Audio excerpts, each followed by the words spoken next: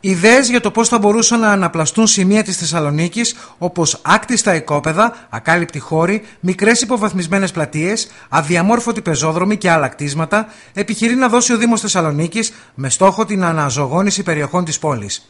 Το Δημοτικό Συμβούλιο του Δήμου Θεσσαλονίκης καλείται την ερχόμενη Δευτέρα να εγκρίνει τη διενέργεια αρχιτεκτονικού διαγωνισμού με σκοπό τη συγκέντρωση προτάσεων για τη δημιουργία και ανάκτηση κοινόχρηστων και κοινοφελών χώρων στην αστική περιοχή του Δήμου σε συνεργασία με το Τμήμα Κεντρικής Μακεδονίας του Τεχνικού Επιμελητηρίου Ελλάδος.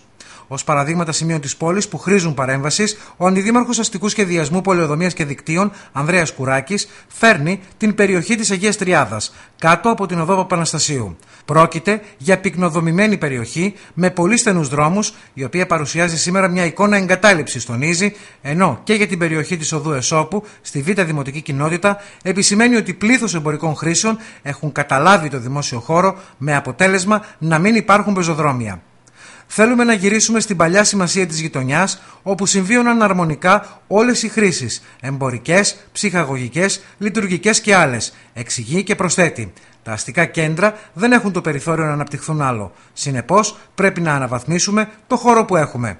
Στο ίδιο πλαίσιο, ο Δήμος αναζητά προτάσεις για τη διαρεύνηση χωροθέτησης και σχεδιασμού του λεγόμενου τοπόσιμου της πόλης σε σημείο του παραλιακού μετόπου.